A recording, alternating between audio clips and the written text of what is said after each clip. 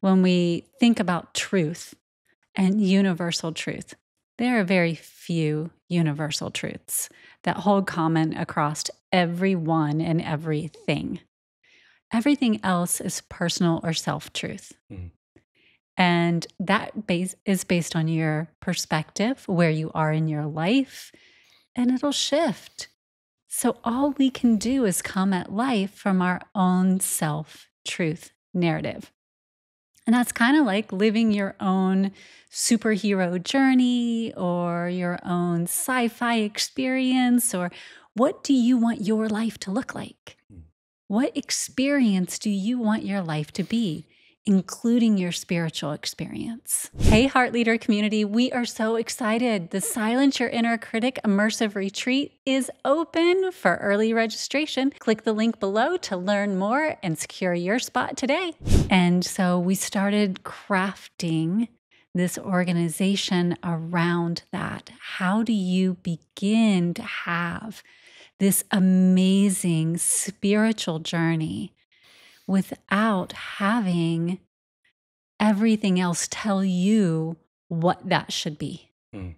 How do you get in touch with that? And how what part does religion play in that? What part does your health play in that? After all, this is your ship. This is your temple. This is your everything that your spirit is playing in. Mhm. So, what does that mean for you? And what does everything around you interplay into that? And so we started having that exchange, right? Mhm. And how does it shift your self truth over time? Yeah. And self truth uh, in a world where truth almost feels elusive, we are getting so many different types of truths. Could be real truths, it could be mistruths, it could be you know totally you know made up. You know just it's it's you know it's different levels of what truth is. It's it's it's daunting to to look out and you know if you if you want to understand something in the world you look out and you start kind of googling it or researching it and all of a sudden there's all these articles on why it is why it isn't why it's in between. You're like well what what do i believe And now I'm going to quote Morpheus, right? yes What is real? what is real yes exactly Right? i love it this goes back to the whole sci fi aspect. yes What is truth? Yes. What is real? exactly Is there a spoon? It's- I- they- this is these are great questions and part of the internal discovery and you know we often talk about um, like in our previous podcasts about uh, relationships and we talked about how um, our limitation of our compassion to ourselves limits our ability to have compassion for others right I feel like that also follows suit when it comes to truth. If we don't have the awareness of our own self truth, that limits our ability to recognize truth around us. And so that's why this is so vital to how we approach Suivera and spirituality as a whole. You know, we we talked about in the last podcast how it's a, it starts from within. It's an internal experience moving into the external. What's the best way to build a strong concrete foundation?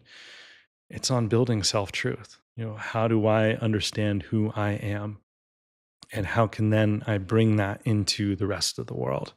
Like what is truth for me And even a heart leader, yeah right? You, it's challenging to lead from the heart center if you don't know what's in your own heart. yeah And it's challenging to get to that place if you don't have tools or resources to know how to get back there. Mhm. When everything else in the world has guided you to live a life outside of you, Mhm.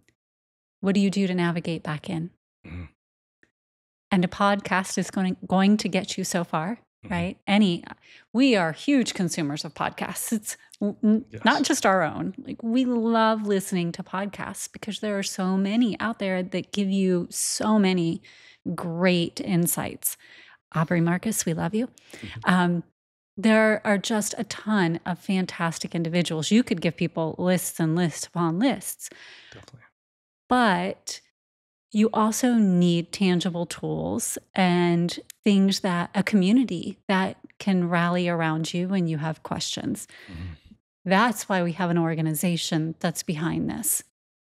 So it isn't just you have a podcast and we provide you with information once a week. We also wanted to have an organization and all of these tools and resources and a community of over a million people that can rally behind when we start to have these questions about all right, I desire to know what my self truth is, but I've never been given a space, a true space to feel safe, mm-hmm. to explore what my self truth is. Because the moment I would start to tiptoe outside the box, of what other people told me my truth is, I would get put right back in the box. Mm. And we want to begin to create that safe space where individuals could start to explore and begin to understand. Now, that doesn't mean that you won't hold to the same truths that you currently have, mm-hmm. but at least then you'll know. You'll know what your self truth is. Is it still in alignment with exactly where you are now?